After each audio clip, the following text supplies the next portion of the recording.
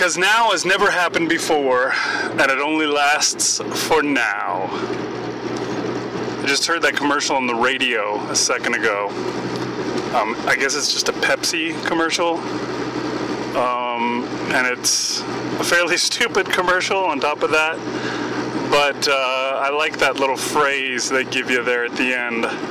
Now has never happened before, and it only lasts for now. Live for now. Um, so this is Big Anklevich here. Hi, everybody. Uh, I've got this tablet um, that I bought. Gosh, it's been like six months now. Um, I did a weight loss contest at work, and everybody put in 20 bucks, and then whoever won got like a half of that, half of all the money, and then like the second place people got uh, some money as well, but not quite as much. They got like a quarter of it or whatever. Second and third place got some money.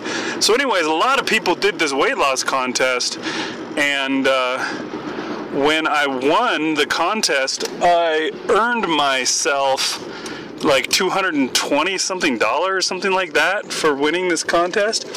So I decided I would take those winnings and I would invest them in a tablet. And for the most part, I've barely used the stupid thing. Uh, I'm I'm not. I, I've never had a cell phone, or I should say, a smartphone, because basically because I can't afford it. I'm too friggin' poor to have a smartphone. Um, so I, I don't understand how to use this thing in a worthwhile way.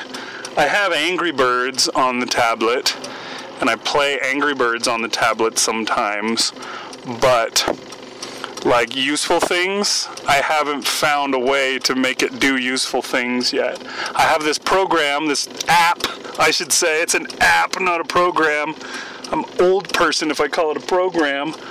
Uh, I have this app that is called Easy Voice Recorder. And it's a free app available in the Play Google Play Store.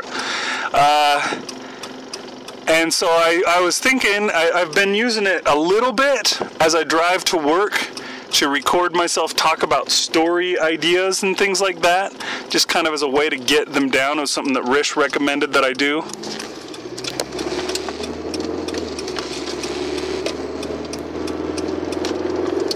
Sorry about that pause. That was me making sure that my drink didn't spill as I turned left.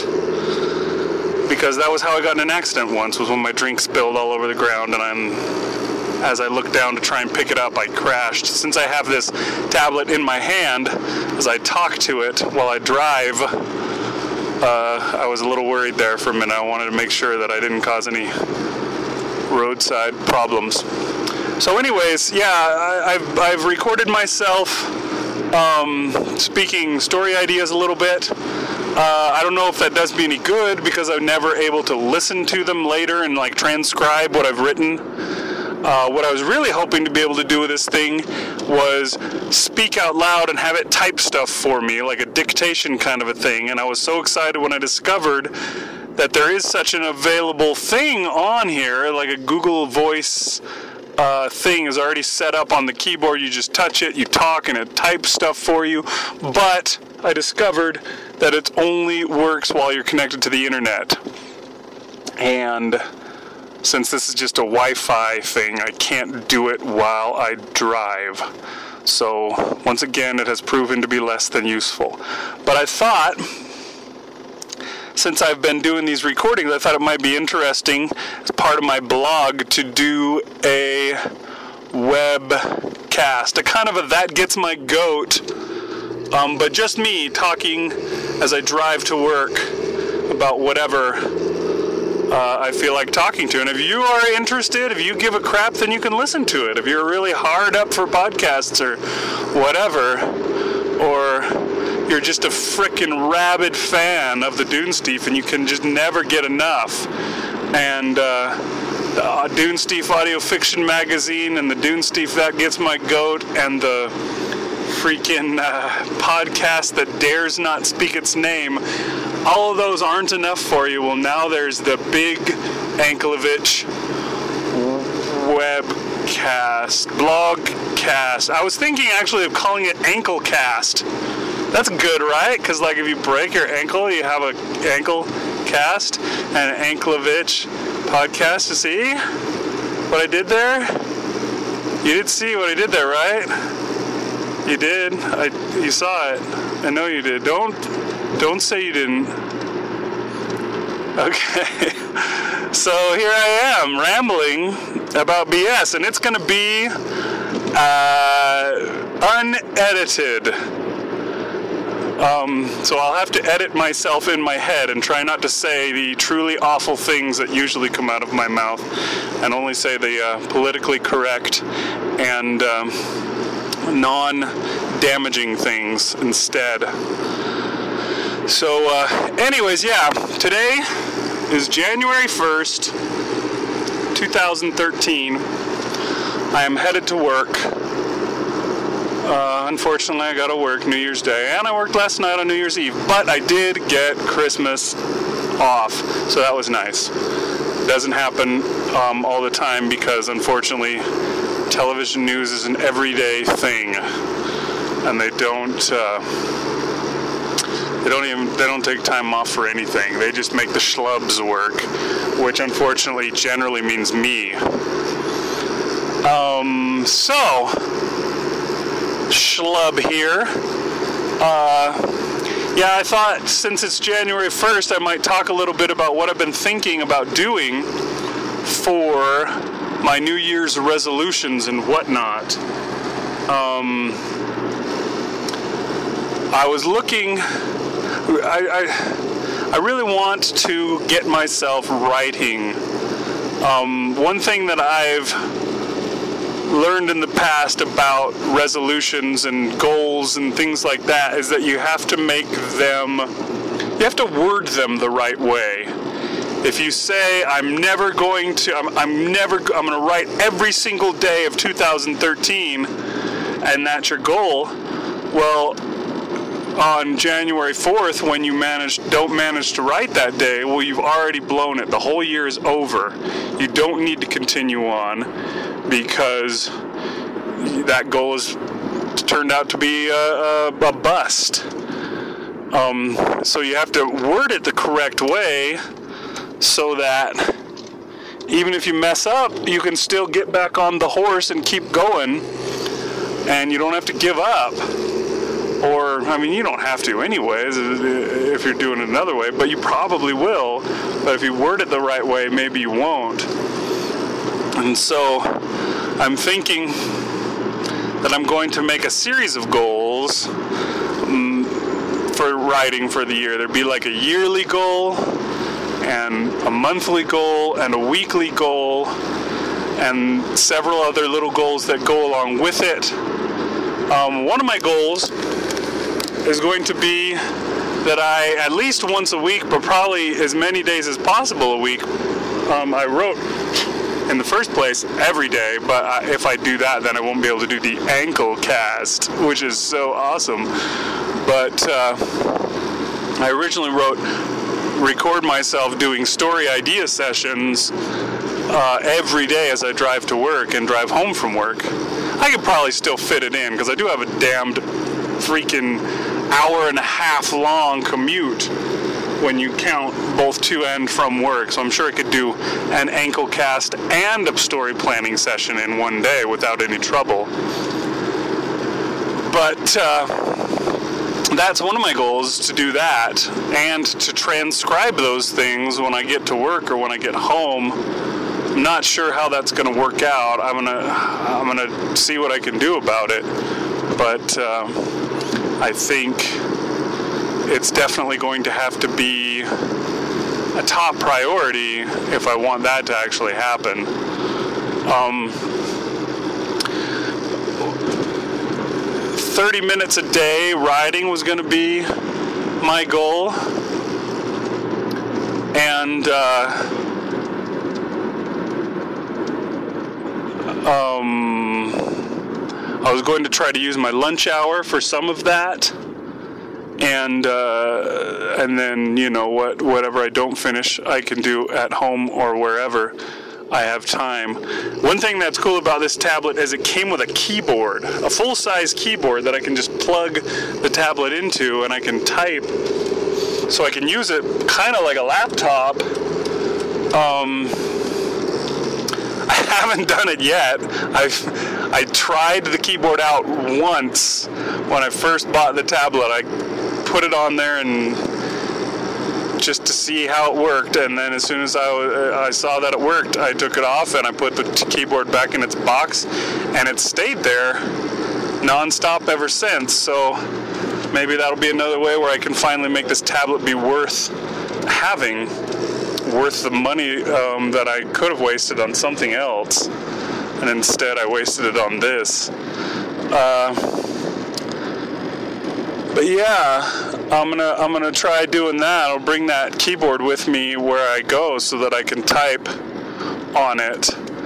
Um, one thing that I think I may need to do if I'm going to ride on my break, my lunch break, is either go out to the car and do it, or some just get away from where I work. Because if I stay where I work, most likely somebody's going to come and ask me to do something, and then I will not get my lunch break like I should, and I also will not work on writing on my lunch break. So that's something that I will uh, be working on as well. Um, so yeah, that's going to be goal 30 minutes a day, and to go along with that goal, 30 minutes a day uh, I'm going to try and write also 5,000 words a week which I, I used my calculator on my tablet. See, I'm already using this thing for everything. It's like I it's like my right arm now. But I I used my calculator and discovered that 5,000 words a week means 715 words a day give or take. It's actually like 713.59632479. And if I wrote 715, that actually gives me 5,005 words. So if I wrote 715, I get a bonus five words a week. Of course, I will try and write even more than that a day. I'd be happy to write a thousand or two or three whatever. Um, I'm not going to limit myself to 715, but I want to try and at least get that far but a half hour a week, 5,000 a week, and I figured 20,000 a month would be my monthly goal, which is just 4,000 times five, or times four, um, since there's basically four weeks in a month. And uh, then my yearly goal, I, th- I, thought I would go back to old Liz Mirzhevsky, Myers Ajewski, Mirzhievsky's uh, thing that she started before she disappeared off the face of the earth, um, which was the 25 stories in 52 weeks thing. I think 25 stories is going to be my goal, which is two stories a month plus one, I guess, right? Because 12 months, so 24. But uh, that's basically, it's not even a story every two weeks because there's 52 weeks in a year. So that leaves two weeks off uh, for that. So, for some reason, I remember there being four weeks off. It was supposed to be like you had the month of November off to do NaNoWriMo if you wanted. And I think I may try and do NaNoWriMo this year too, somehow, if I possibly can. Um, I've never tried it before. I just consider it ridiculous, and I come up with excuses like, "Oh, sweeps is in November, and that's too hard for me."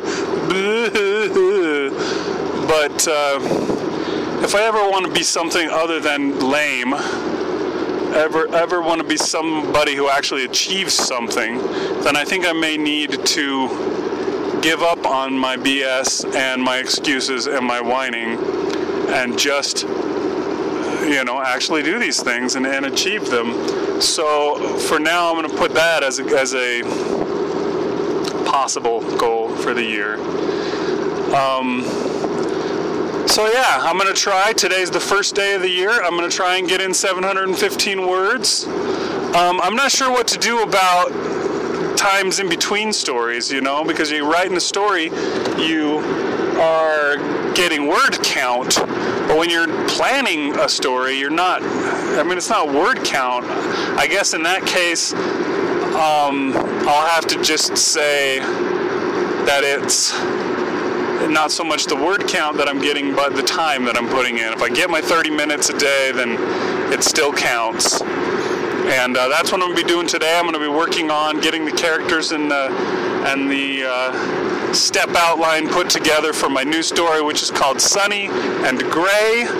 I'm going to try and write that. I, I, it's going to be a long story, so I'm worried that it may kill my whole uh, trying to get 25 stories in in a year. But you know, whatever. Um, I guess we could say this: if a story is 10,000 words, then it counts as two stories. Um, we'll say a story is 5,000 words. So if I've written a 10,000 word story or a 15,000 word story, then you know that ups the ante. That no, that doesn't up the ante. That ups the total. Um, anyways, so that is uh, going to be the very first, the inaugural Anklecast.